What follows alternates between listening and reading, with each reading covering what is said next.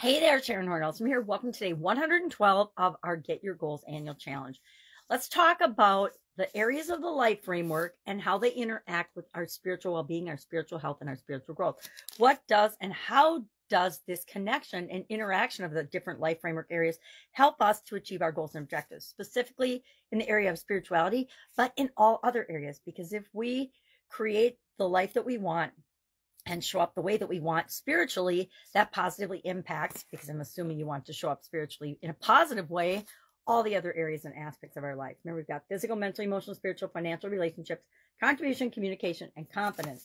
So I ran through, and whenever I do this, I do this every month with each of the different areas and aspects of the life framework.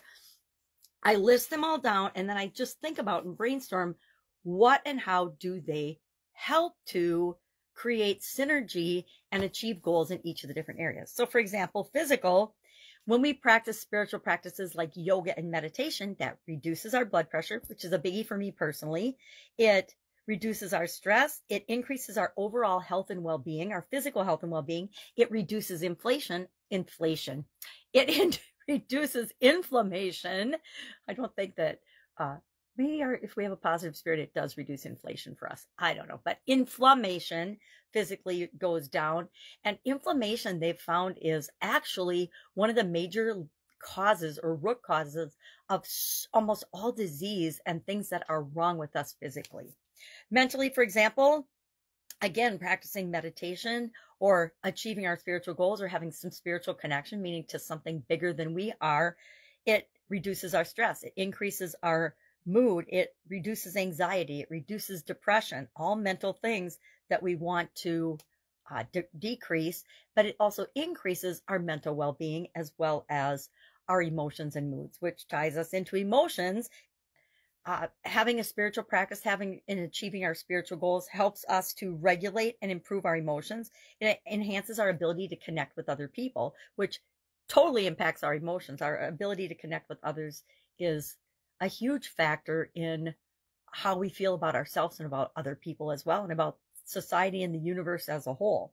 Spiritually and spiritually, I, I like to do this one just because it reminds me that uh, what we do spiritually impacts our spiritual well being. So, mindfulness, meditation, prayer, uh, seeking guidance or support, connecting with other like minded people, etc all fall under the category of uh, achieving our spiritual goals, impacting in a positive way the other areas and aspects of our life. And for some reason, I skipped financial, but I think that achieving our spiritual goals definitely gives us more confidence in the ability to go out and do things, stretch our comfort zone, and create resources and flows of income into our life that we probably wouldn't do if we didn't look for those connections. Relationships, we kind of talked about. It increases our relationships by practicing compassion, forgiveness, and empathy. All of those are spiritual things that and spiritual practices or goals that we can have. And as we improve them, it improves our relationship with other human beings. Uh, contribution. Uh, we all want to, I, I, I hang out with people that want to make a positive impact on the world around us. And that's what contribution is all about. And our spiritual connection is all about um, our spiritual well being and our spiritual goals are about connecting with something bigger than ourselves, something outside of us, whether it's a religious practice or a uh, making the world a better place, etc. That is all about how we contribute and leave a legacy and make an, a positive impact on the world.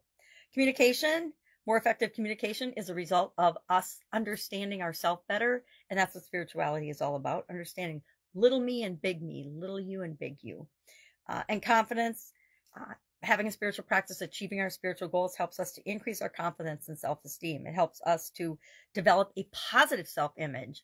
Uh, the world beats us up a lot and tries to create a negative self image and negative thoughts and beliefs and patterns and all kinds of craziness in our life. And having a spiritual practice to connect us to who we really are and a, a bigger meaning, a purpose, a higher power, all contributes to our confidence in a positive way. And again, all of these areas impact all the other areas.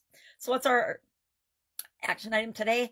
Think about each of the different areas and how achieving your spiritual goals will impact your goals in those areas. And then just share one aha in the comments below. That's it. Have an awesome day. If I can help you in any way, ask. Otherwise, I will be with you tomorrow.